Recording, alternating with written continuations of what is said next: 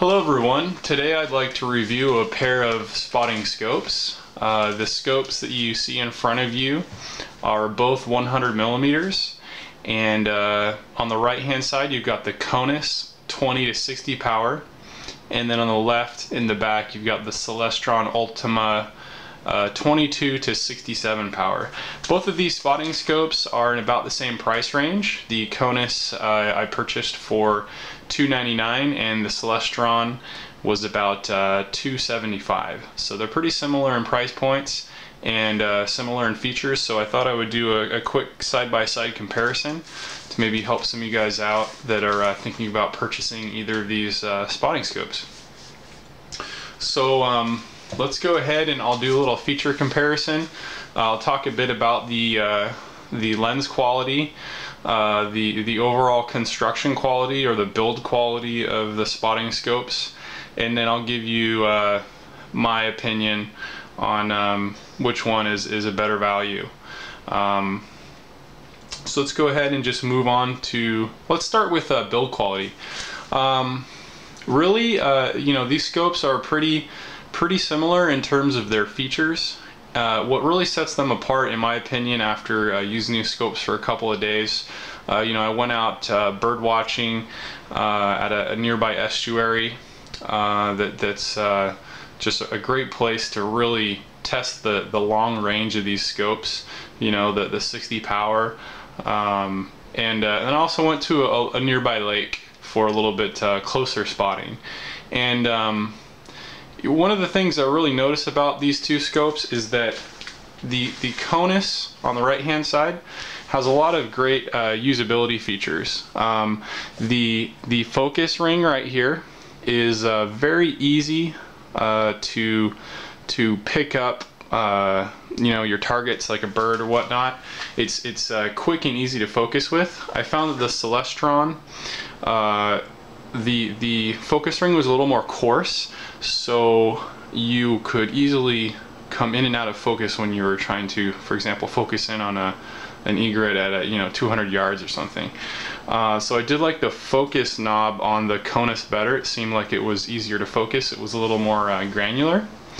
Uh, and, and, it made um, you know focusing in on uh, moving objects a little bit simpler so I just call it uh, a bit more ergonomic also I'm going to give edge to the Konus on the eyepiece uh, the eyepiece on the Konus uh, is is very very smooth um, it uh, it doesn't make any any sort of noise or doesn't feel gritty whereas the one on the Celestron here uh, it's it's quite coarse. Uh, you can actually feel the metal parts uh, rubbing up against each other when you're moving the eyepiece. I'll give you a quick uh, uh zoom in here of that eyepiece. So you see it's 67 power. Um, down to 22 power and you can kind of feel it feels gritty when you're moving it not a big deal uh, just uh, shows a little bit more refinement in the Konus than with the Celestron um, the the Celestron uh, just kind of like a personal opinion looks a little bit cooler um, it's a little bit slimmer and it's also a little bit lighter. I will uh, post in the comments on this video uh, the the actual weight uh, if my my kitchen scale will will uh, handle it. Um, they might be too heavy, but um, overall, you, here you can see the width. The uh, Celestron is a little bit longer, and um, I believe that's due to the eyepiece design uh, you'll see that the Celestron is a straight eyepiece, whereas the Konus is a 45 degree eyepiece. Uh, it's really a pre personal preference, you know, which one you like. I prefer the angled eyepiece, uh, especially if your tripod is not tall enough. I'm a pretty tall, uh, pretty tall, pretty tall guy, so uh, you know, I need at least like a six foot um, you know six foot six foot two tripod that will get that that scope high up enough for you to be able to view straight through it. Uh, so it makes it a little bit simpler um, to to have the 45 degree uh, eyepiece for me because my tripod is not that tall. So I found myself kind of having to to bend over uh, and kind of arch my back, and it kind of tired me out after a little bit, and I wasn't quite as uh, stable with with the straight through eyepiece. Um, but anyways, moving along to the build quality, I'll show you guys a couple other parts uh, that um, a couple other things that set these scopes apart. First of all, the the Celestron uh, does come with eyepiece covers. Um, let me go run and grab it for you really quickly here. It uh, it's not a very impressive lens cover. Um, it's it's kind of cheap. It's actually very cheap, uh, and um, it fits on the front like so. And it, it does that a lot. It, it likes to fall off a lot. Uh, that was me being clumsy, but you know it it uh, you know throwing in the back of your car anytime you touch it it will see that it'll just pop itself off. So if you you know you're pulling it out of your car and it rubs on some fabric or something the front lens cover comes off very very easily on this. It's it's almost worthless. I mean it's it's it's so easy to take off. You don't even have to use the tabs on the side the spring-loaded tabs to, to pull the lens cover off. You can just yank it off easily. Uh, also the rear eyepiece cover that came with this was uh, too small. And um, it, it, I just don't even use it because it's it's pretty much worthless. So the lens covers on the, the Celestron are, are pretty poor. Uh, the Konus, uh, definitely an improvement. Uh, you've got a big 100 millimeter lens cover here and notice how you also have a sunshade that pulls out. That's a real nice feature on this scope. And the, uh, the front lens cover is a pretty tight fit and it tends to stay put. The rear lens cover I would say is so-so. It, it does fall off pretty easily. It's just a plastic cap. So an upgrade for a rear lens cover might be in order on that. Um, moving into the optical features, uh, I would say that well, there's a couple of different little talking points. I'll start here. I actually have some notes for this because uh, it's it's a pretty important pretty important point. But before we move on, I, I'd give the build quality score, uh, you know, for the Konus at a like a B plus, and I'd, I'd give the Celestron kind of like a C maybe. Uh, it is definitely inferior as far as build quality goes to the Konus. I like the the ergonomics of the uh, focus wheel, of the eyepiece. Uh, lens covers are better, and um, and then the sunshade is a real big, big bonus. The nice built-in sunshade. Uh, I just you know the the if you get used to it especially you know if you're just starting out with spotting scopes and you've never looked behind one before the Celestron is going to be a little more difficult to focus right out of the box uh, I think once you get used to spotting scopes you know that point's going to kind of be moot um, but I did find the Konus to be a little bit easier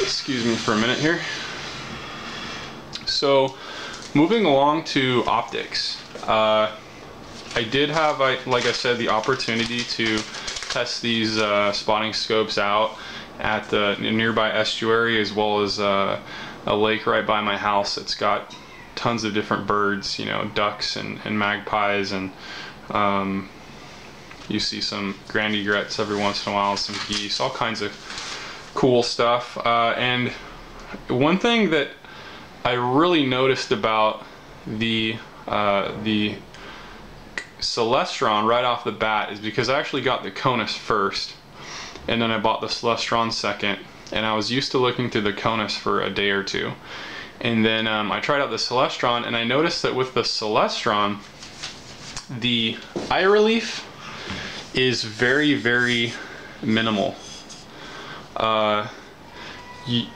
the, the eye relief on the Konus, I'd say, is, is definitely superior to the eye relief on the Celestron. And um, going back to, you know, someone who's new to spotting scopes, maybe this is your first spotting scope, and, and it probably is in, in this price point. You know, I mean, we're not talking about like the thousand dollar Pentaxes and, and, and Kowas, and not to mention some of the Zeiss and Swaros and all those super, you know, multi thousand dollar spotting scopes. But um, the eye relief on on the Celestron was sort of an issue for me. Um, it comes with this rubber uh, grommet around the eyepiece and at minimum power of 22 power your eye is going to be bumping that plastic grommet. So what I did is I just kind of like took it off. You can just peel it off real simple and chances are you're going to lose it anyways. So uh, I just looked through it without that grommet on there. Uh, so the eye relief is pretty small on the Celestron and it is significantly smaller than the Konus. And at um, at full power, you know, 60 power on the Celestron, your your the bridge of your nose is likely going to be bumping up against the outer ring of the eyepiece here. Uh, I found that happening almost all the time at high power. You've really got to get your eye, you know, pressed up against this eyepiece here, and so it can be a little uncomfortable. Um, and, and, you know, in comparison, the Konus didn't have any problems at all with eye relief. Now, as far as optical clarity goes, uh, both of these scopes have excellent optical clarity. Uh, there is really not a clear winner. And I'll kind of go over categories of, of optical clarity. Um, I talked about eye relief, but uh, let's talk about brightness. Uh, I would give a slight edge in brightness to the Konus. Uh, I noticed looking at um, some objects at about 400 yards away, uh, like some cars and a couple of uh, people walking along a path. You could see their, their sweatshirts were a little bit brighter with the uh, Konus than the Celestron, but it was um, not significant. Uh, the, the, the brightness, and I'm kind of mixing brightness and color here at the same time, guys. Uh, brightness and color, I'd give the edge to the Konus. A little bit more brightness, a little bit more color, but nothing tremendously significant. Uh, however, with the Konus, when I was looking at some some uh, some great egrets out in the estuary, I noticed a lot of purple fringing on you know the the silhouette of those white bright bright white birds with uh, you know like some dark mud in the background or, or, or dark blue water in the background. The Konus definitely exhibits a lot more purple fringing than the Celestron so if um, you know if that purple fringing really bothers you the Celestron uh, definitely wins out in that category and um, even at minimal power, at 20 power on the Konus, you can still see a little bit of purple fringing, uh, especially on like railings and rooftops. And then it's very apparent at uh, you know your 60 power. Um, but uh, overall, I, I think that uh, the lens quality of both of these scopes is actually very very good and you're not going to go really too wrong with either of them. Uh, I did do a test uh, looking at a license plate at 415 yards uh, confirmed with uh, Google Earth. Um, you know checking out a, a couple of uh, license plates on cars and and I could read uh, the license plate at 415 yards very clearly at maximum power with both of these scopes and um, and so that was I was actually pretty impressed with that. First, I read the, the license plate with the Konus, and I was like, wow, that's that's impressive. You know, I wonder if I can do it again with a Celestron, and, and I could. And I actually reviewed these guys side by side. So um, you know, your atmospheric conditions, I kind of liken it to uh, snorkeling. I don't know if, if if you guys have been uh, snorkeling or if you're really into snorkeling or whatever, but basically you know, how far you can see underwater just depends on the visibility of the water. You know, one day you'll be able to see 50 or 75 feet, and the next day, I mean, you'll be able to see like 10 feet. And it really just has to do with the uh, the clarity of the water, and the atmosphere is very similar to that. Um, you know, taking taking a spotting scope out on on one day, and you know, rating like one scope and then taking a different scope out to the, maybe the exact same spot but on a second day, you can have totally different results um, just based on atmospheric conditions. So uh, today I did take both of them out to lake at the same time and, um, and, and, they both performed very well. Um, and like I said, they both could read a license plate at 400 plus yards. Um, what else do I have here? So we went over brightness, we went over color, we went over uh, clarity. Uh, I'd rate both of these as equally uh, clear. Uh, you know, I, I'm kind of right now leaning to maybe giving the Celestron just a you know percent or two better score on clarity, but it really depends on your situation because if you're trying to acquire a target like a moving bird, uh, you know, or a, a, car or whatever it is, something that's that's moving, and you have to do it quickly, the Konus is going to be easier to do it with because the focus, uh, the focus control is uh, is better in my opinion. Um, however, the Celestron, you know, if you have something that's a stationary uh, subject, I think that you're going to get just a tad better clarity out of it, mostly uh, due to the fact that it has less uh, purple fringing, and so I find that you just get a little bit less glare out of it. Uh, one thing to note on the um, clarity subject is uh, the Celestron, uh, I did notice had more of a uh, a blue ring on the outside of the lens when you're looking through it, especially in very bright conditions. Uh, you'll see that the the the outside of the lens when you're looking through the eyepiece there'll actually be a blue ring surrounding the entire uh, objective.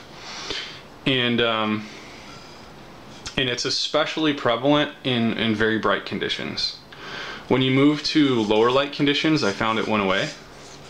But um, you know looking through the eyepiece you will see that blue ring and it can be a little distracting. Now in comparison, the Konus did not exhibit any blue fringing around the outside of the, uh, the lens, the objective lens. However, you know, when this is when you're looking through the eyepiece, obviously.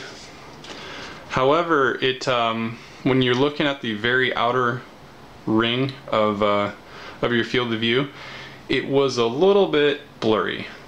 So this is, I'm talking just like the last, you know, inch of your field of view, last inch or two.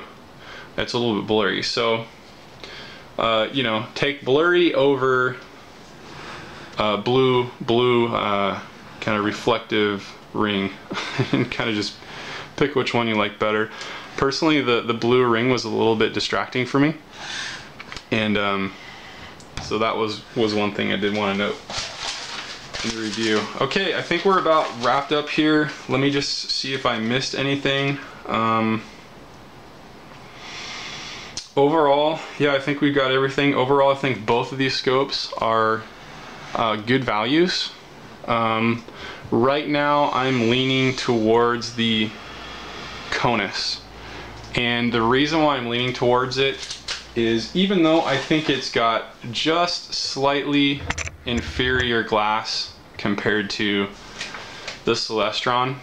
I mean, we're really splitting hairs here too on this. I mean, they're both very, very good uh, scopes with very, very good glass clarity and glass quality. But um, I, I, right now, my preference is, is leaning towards the Konus because, just because of the build quality. It seems to be a little bit more of a user-friendly scope to me. Um, of primary importance to me is the eye relief and the ability to focus quickly on a subject. So I think that those two things make a, uh, a, a, big difference. And then, you know, little things would be like kind of the annoying lens covers on the Celestron. Um, and, uh, you know, I'll take the little bit of extra weight right now. It's not that big of a deal for me. But it's a pretty close race. Um, anyway, so that's just my observation so far. Uh, just to give you guys maybe a little bit more information on your next purchase. And um, I'm going to continue testing these scopes, and so I'll update this review uh, with a little bit extra information in the notes. All right, thanks guys. If you have any questions, uh, please let me know. I'll do my best to help you out.